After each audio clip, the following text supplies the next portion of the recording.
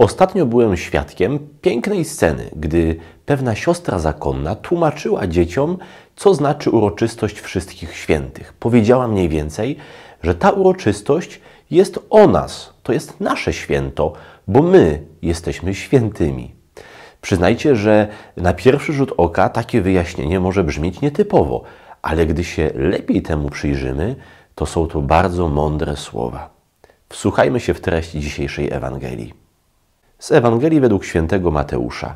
Jezus, widząc tłumy, wyszedł na górę, a gdy usiadł, przystąpili do niego jego uczniowie. Wtedy otworzył swoje usta i nauczał ich tymi słowami: Błogosławieni ubodzy w duchu, albowiem do nich należy Królestwo Niebieskie.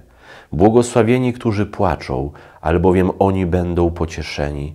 Błogosławieni cisi, albowiem oni na własność posiądą ziemię. Błogosławieni, którzy łakną i pragną sprawiedliwości, albowiem oni będą nasyceni. Błogosławieni miłosierni, albowiem oni miłosierdzia dostąpią. Błogosławieni czystego serca, albowiem oni Boga oglądać będą. Błogosławieni, którzy wprowadzają pokój, albowiem oni będą nazwani synami Bożymi. Błogosławieni, którzy cierpią prześladowanie dla sprawiedliwości, albowiem do nich należy Królestwo Niebieskie. Błogosławieni jesteście, gdy ludzie wam urągają i prześladują was, i gdy mówią kłamliwie wszystko złe na was z mego powodu. Cieszcie się i radujcie, albowiem wielka jest wasza nagroda w niebie.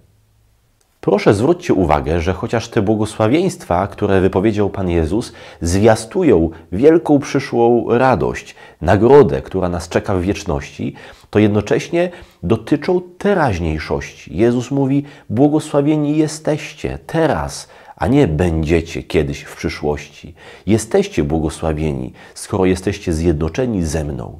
To jest chyba najlepsze wyjaśnienie, czym jest świętość. Świętość to jedność z Panem Jezusem i przynależność do Niego. Tylko Bóg jest święty i świętymi są ci, którzy są w Jego rękach, którzy do Niego należą.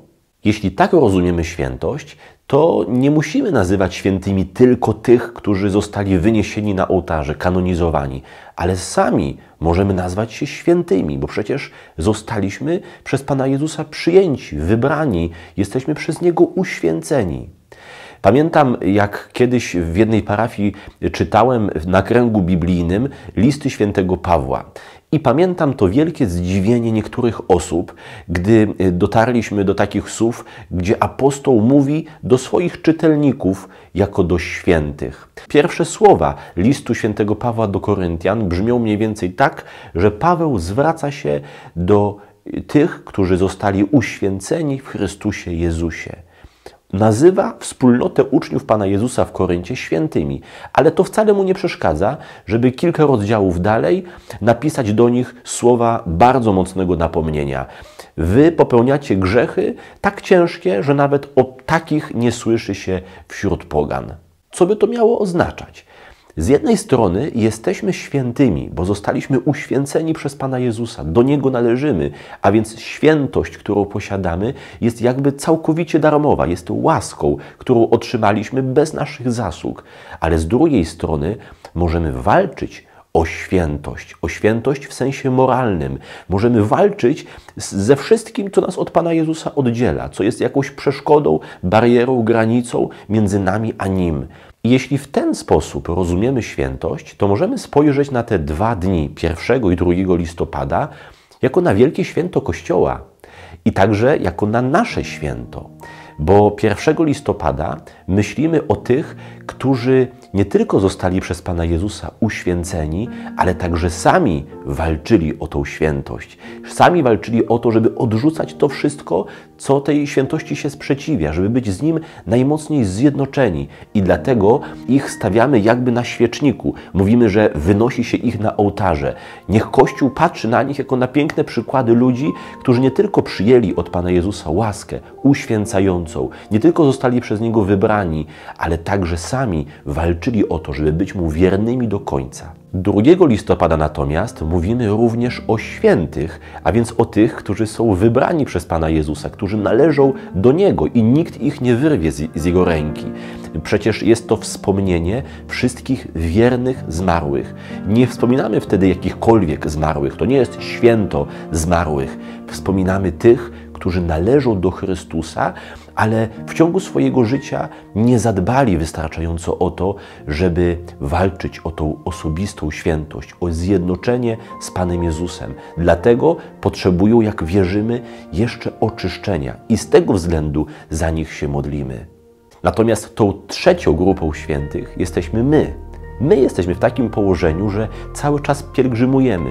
My mamy czas możemy tą świętość, którą już Pana Jezusa otrzymaliśmy, jeszcze pomnożyć, jeszcze bardziej powalczyć o jedność z Nim, o to, żeby nic nas od Niego nie odciągało. Może w ten sposób spójrzmy na te dwa dni, 1 i 2 listopada. Cieszmy się razem z tymi, którzy już cieszą się w niebie, prawdziwą jednością i bliskością Pana. E, módlmy się za tych, którzy jeszcze tej jedności nie mogą mieć pełnej.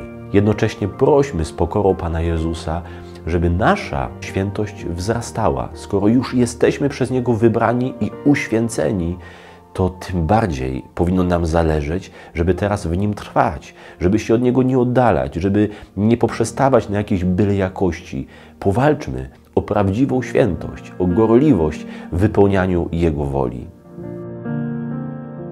na dobre przeżycie tych dwóch dni niech Was błogosławi Bóg Wszechmogący, Ojciec i Syn i Duch Święty. Amen. Trwajmy w Jezusie.